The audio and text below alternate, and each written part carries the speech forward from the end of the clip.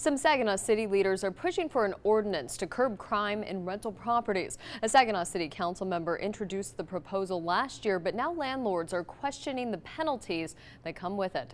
NBC 25's Nikki Zizaza spoke with tenants and landlords who may be impacted if this proposal is approved. Nikki?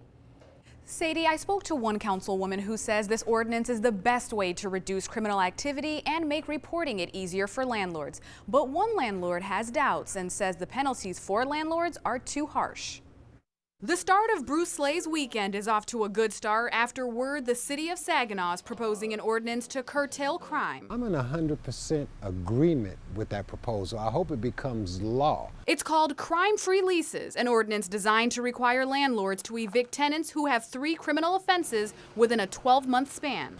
Um, in my current environment, I would say two strikes and you're out. But this proposed ordinance isn't new to the region, and some landlords say the new twist raises serious concerns. If they don't take action after three violation, then blame falls their way. But what has happened with it is they have decided to augment this with many little parts of it where they're going to hold the landlords uh, guilty for anything that the tenants do.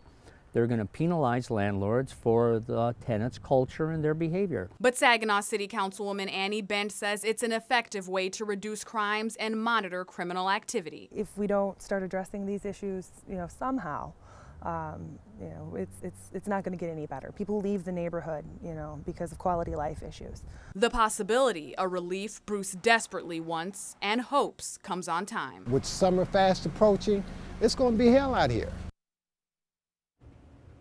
And Sadie, the ordinance was recently passed in Buena Vista and enacted in Saginaw Township more than five years ago. If landlords do not comply, they could be slapped with a fine and a civil infraction. Saginaw City Council will be voting whether to adopt this ordinance on April 6th. Nikki Zizaza, NBC 25.